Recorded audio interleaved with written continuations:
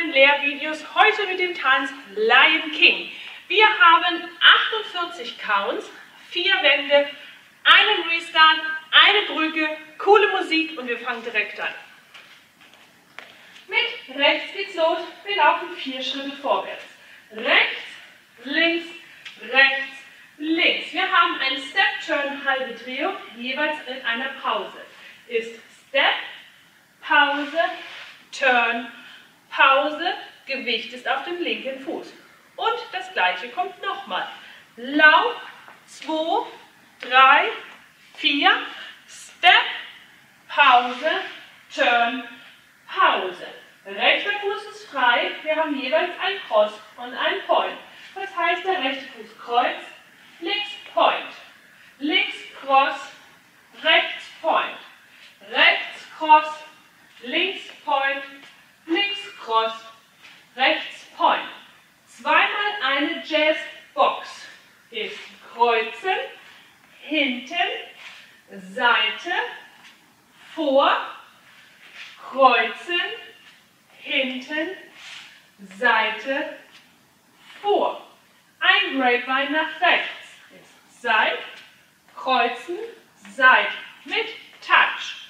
Turning Vine links, Seit, kreuzen, drehen mit Touch. Zweimal Grapevine, erst nach rechts, Seit, kreuzen, Seit und nach links, Seit, kreuzen, Seit, Touch. Tanz beendet, noch einmal alles zusammen. Sieben, achte, Schritt, zwei, drei, vier, Step, Turn. Und Schritt, zwei, drei, vier, Step, Pause, Turn, Pause, Schritt, Tipp, Schritt, Tipp, Schritt, Tipp, zweimal Box, kreuzen, hinten, Seite, Schritt, kreuzen, hinten, jetzt nach rechts, Seit, kreuzen, Seit, Tipp, Seit, kreuzen, drehen, Tipp, Seit, kreuzen, Seit, Tipp, Seit, kreuzen, Seit, Tipp. In Runde 6 haben wir einen Restart nach 24 Counts. Das bedeutet, wir laufen die ganz normale Anfangsstelle, vor, 2, 3, 4, Schritt. Drehen und vor, 2, 3, 4, Schritt. Jetzt haben wir noch die Cross-Point-Stelle. Cross, Point, Cross, Point, Cross, Point, Cross, Point. In der sechsten Runde brechen wir hier ab, starten neu, wieder mit Vorwärtslaufen. Tanzen dann normal unsere Runde 7 und in Runde 8 haben wir nach 16 Counts eine kleine Brücke. 16 Counts sind nur diese Laufstelle. Vor, 2, 3, 4. Schritt. Drehen und vor, 2, 3, 4. Schritt. Drehen. Hier fügen wir jetzt einen Faustschritt rein. Also raus, raus, rein, rein und beginnen dann wieder von vorn. Also Runde 6, nach der Cross-Point-Stelle ein Restart, dann ein normaler Durchlauf in Runde 7 und in Runde 8 nach der Step-Turn-Stelle zusätzlich ein V-Schritt und dann von vorne anfangen. Das war der Lion King im Schnelldurchlauf. Der Lion King dient dazu, ähm, einerseits den Grapevine zu festigen, andererseits den Step-Turn und die Jazzbox als neue Schritte einzuführen. Und ich habe eine kleine Variante für euch, wie man auch als fortgeschrittener Anfänger diesen Tanz ein bisschen aufpeppen kann. Und wir gehen es jetzt einfach nochmal durch und ich zeige euch, wo, auf was ihr achten könnt. Am Anfang, wenn ihr diese vier Schritte macht, klar, lauft ihr über die Ballen, das heißt, die Fußspitze berührt zuerst den Boden, nicht die Ferse. Beim Step Turn sage ich immer, und das müsst ihr euch auf die Unterarme tätowieren, erst Step, dann Turn. Deswegen heißt der Step, Turn, Step, Turn, weil er Step, dann Turn. Habe ich schon gesagt? Erst Step, dann Turn. Very wichtig, ja? Das heißt, beim Step Turn machen wir erst einen Step. Und anhand dieses Steps kann ich als Laie noch nicht erkennen, dass jetzt eine Drehung kommt. Der Profi kann das natürlich, weil ich den Oberkörper gegendrehe und er sieht, oh, die holt da irgendwo in irgendeine Richtung her Schwung. Was aber nicht passieren darf, dass ich im Step schon den Turn erkenne.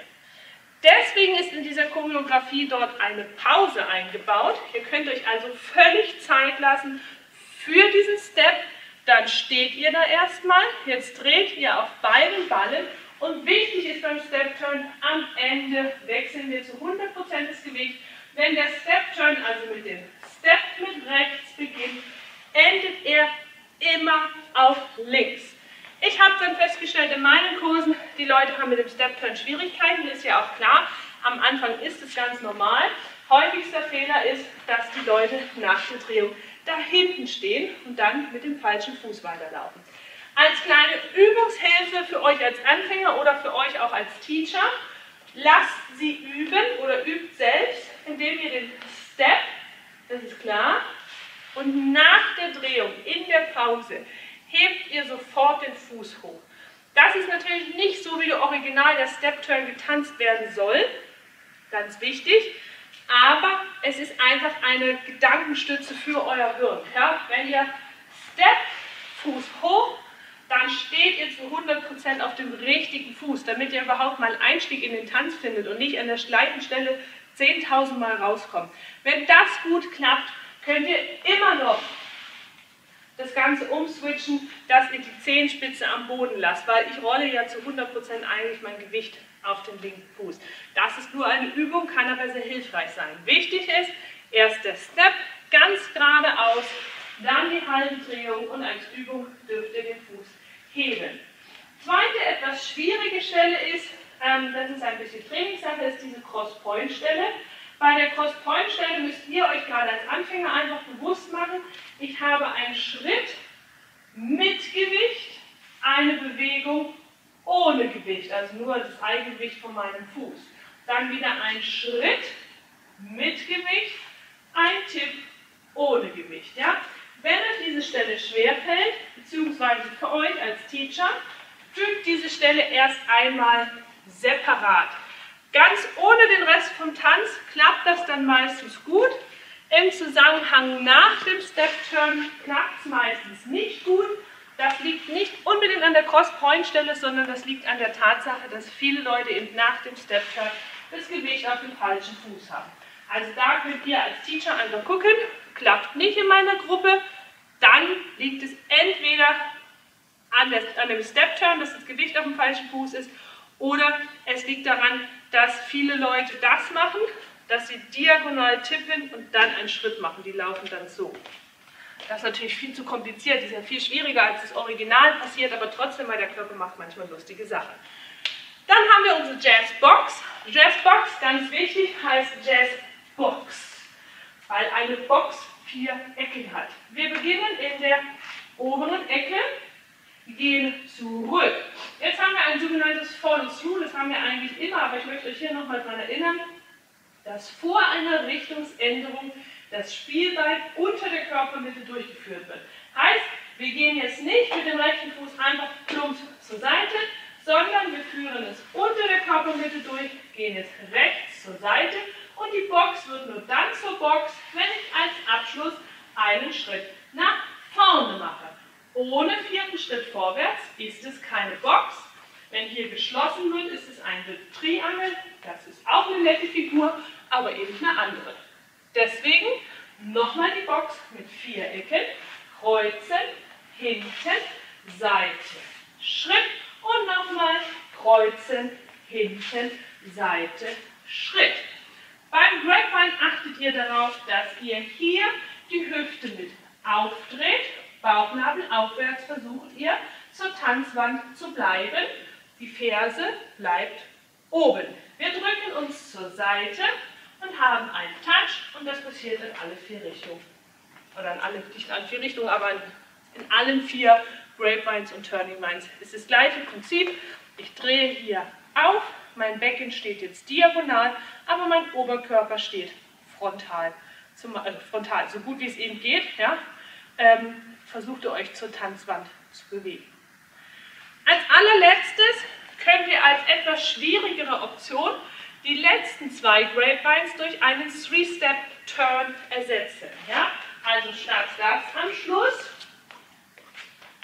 macht ihr drehen, drehen, drehen, tipp, drehen, drehen, drehen, tipp und dann lauft ihr wieder von vorne los.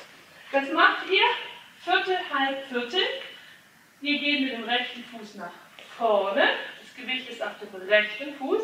Jetzt drehen wir auf diesem rechten Fuß über die rechte Schulter. Der linke Fuß geht zurück und wir verlagern das Gewicht auf den linken Fuß. Wichtig ist, wir gehen jetzt weiter. Das heißt, wir machen noch eine Vierteldrehung nach rechts und der rechte Fuß geht nach rechts. Der Touch bleibt. Nach links genauso.